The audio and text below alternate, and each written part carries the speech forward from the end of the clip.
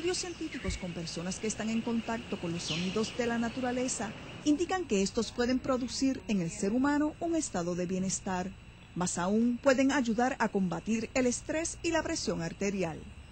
Vamos a medir entonces la cantidad de ruido que tenemos aquí en el bosque.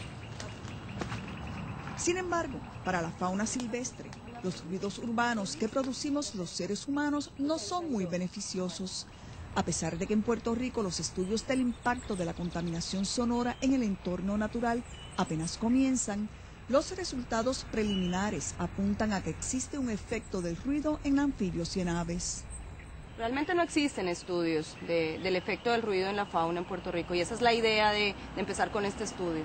Entonces escogimos bosques que quedaran cerca de carreteras, como ustedes pueden escuchar, bosques eh, donde tuviéramos una buena cantidad de vegetación, que estuvieran aledaños a los expresos principalmente. Quisimos coger el expreso que va hacia Arecibo y el expreso que va hacia Caguas, que son como las dos vías que tienen mayor cantidad de tráfico. Los hallazgos más relevantes eh, es que encontramos que las especies que tienen eh, sonidos que, se asemejan o que están como más o menos en la misma frecuencia de, de, los carros se alejan de los sitios más ruidosos. Entonces, animales como las palomas o los búhos no están en los bosques que están pegados a las carreteras, porque los pájaros y las ranas están utilizando estos cantos para comunicarse y si los cantos eh, no se pueden escuchar por el ruido de los carros, entonces simplemente lo que hacen los, las aves, como las palomas y los búhos, es irse a sitios donde haya menos ruido. La comunicación acústica es muy importante para muchas especies de animales. Sus vocalizaciones son un elemento vital para llevar a cabo muchas funciones, tales como demarcar territorio, aparearse, alimentarse o protegerse de depredadores. Los anfibios no pueden moverse de los sitios donde hay más ruido. Entonces lo que ellos hacen es cambiar eh, como la característica de su canto. Entonces, en este caso el coquí particularmente lo que hace es cantar más fuerte para poderse dejar oír en medio de esa cantidad de ruido que hay o que producen los carros. Es necesario realizar más investigaciones para conocer si el ruido ambiental está causando algún daño irreparable en los ecosistemas y la fauna. Actualmente no existe ningún tipo de política pública para la protección de los ambientes sonoros naturales.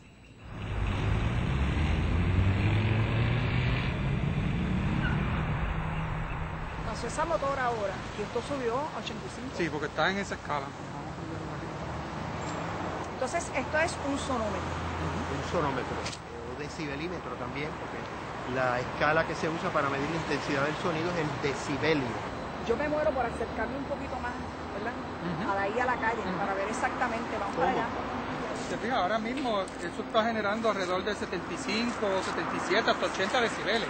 Eh, y nosotros pues tenemos suerte porque no vivimos aquí, ¿verdad? Pero cualquier persona que 87 viva cercano a una condición como esta, pues estaría recibiendo en su hogar esos decibeles. Pero es bien interesante porque justamente donde nosotros estamos aquí necesariamente no es una zona residencial y nosotros estamos viendo cuando pasan, ¿verdad? Los vehículos, cuando pasa el tren, eh, sube considerablemente, pero en la misma ruta del tren tenemos sí residencia. Sí, sí, sí. Hay un impacto directo. Así que eso es lo que usualmente proyecta cuando se hace un estudio de impacto ambiental de ruido, pues es qué es lo que va a ocurrir como consecuencia de la operación de esta nueva, en este caso una nueva modalidad de transportación. Al igual que en otros países, en Puerto Rico contamos con profesionales dedicados a orientar sobre la contaminación sonora y sus efectos. Además, desde el 1940 existe la Ley 71 de delitos contra la paz pública que protege los derechos de los ciudadanos ante el ruido y los ruidosos. Esta ley eh, tenía el propósito de establecer una definición de lo que eran ruidos excesivos e innecesarios eh, porque ya desde el 40 se reconocía de que a medida que todo este tipo de vehículos que estaban haciendo eh, entrada en nuestra, eh, en nuestra isla y todo este tipo de maquinarias que estaban llegando como consecuencia de la revolución industrial, pues estaban contaminando los espacios y ciertamente la legislatura reconoció de que hacía falta control. Y a pesar de que existen esas protecciones amparadas en un sinnúmero de leyes estatales, amparados esos derechos y protecciones en algunos códigos y ordenanzas municipales, y esos derechos que, están protegidos en el reglamento para el control de la contaminación por ruido, aún continuamos teniendo muchos ciudadanos que se sienten desprovistos de protección, se sienten eh, indefensos ante las problemáticas de ruido, porque a pesar de que la ley está ahí, las autoridades municipales y estatales y los funcionarios eh, subestiman los grados y los problemas que estos eh, emisores de ruido causan. Y con mucha frecuencia las leyes terminan siendo inoperantes. A pesar de que tenemos una ley de control de ruidos que data posiblemente del 1940, bastante antigua por cierto, siempre esto está como renovándose y siempre hay proyectos de ley y siempre hay enmiendas para la misma. ¿Existe ahora mismo alguna nueva enmienda? ¿Existe ahora algún nuevo proyecto de ley relacionado con el control del ruido en Puerto Rico? Pues eh, realmente hay una variedad de leyes en Puerto Rico ya vigentes a nivel estatal eh, para garantizarle los derechos, ciertos derechos a las personas y protecciones. Eh, pero hay unas áreas donde no hay protección que ameritan nueva legislación o legislación moderna para atender unos serios problemas de contaminación por ruido. Por ejemplo, hay ahora mismo cinco proyectos de ley radicados en la legislatura buscando, por ejemplo, garantizarle derechos a los niños en los salones de clase porque los salones de clase, muchos salones de clase en el sistema público son muy ruidosos, tienen mucho eco interno, están cercanos a expresos o vías públicas y el ruido entra al interior.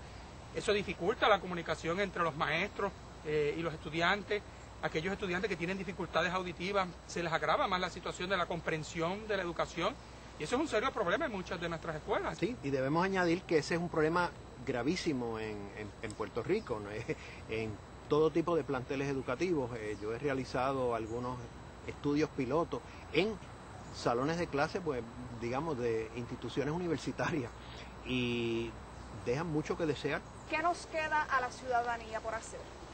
Pues básicamente dos palabras, yo lo resumiría en dos palabras. Uno, educarse eh, sobre cuáles son sus derechos, eh, los derechos que tienen las personas ante los ruidos y los ruidosos, indagar cuáles son las leyes eh, estatales que le aplican a su caso en específico, a su situación por ruido, o ruido en su ambiente laboral, o ruido en, su comunidad, ver cuáles son los reglamentos, ordenanzas municipales.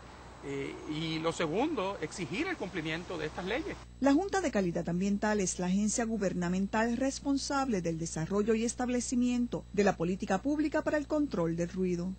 El área de control de ruidos de la Junta es responsable de asegurar el cumplimiento con el reglamento para el control de la contaminación por ruido. Además, existen ordenanzas municipales y códigos de orden público que rigen el asunto del ruido en la isla. Como hemos visto hasta ahora, el tema del ruido es algo bien subjetivo. Ya bien lo dice el refrán, lo que es ruido para muchos es música a los oídos de otros tantos. Y precisamente de eso se trata el arte sonoro.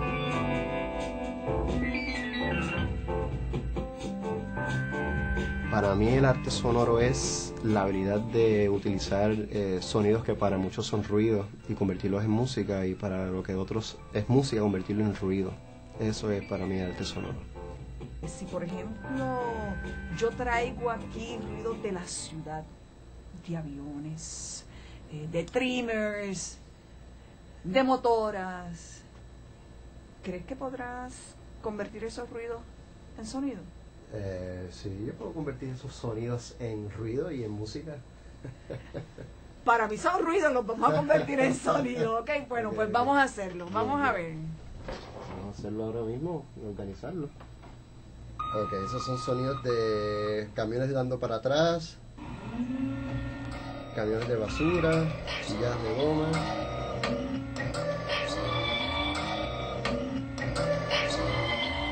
La contaminación por, ruido aquí en la isla eh, está pasando eh, desapercibido. Eh, ya que en verdad no las personas ni se dan cuenta porque ya están acostumbrados al alto nivel de, de ruido que, y contaminación que existe y en verdad nos está afectando eh, como sociedad a todos nosotros aquí y no se está haciendo caso.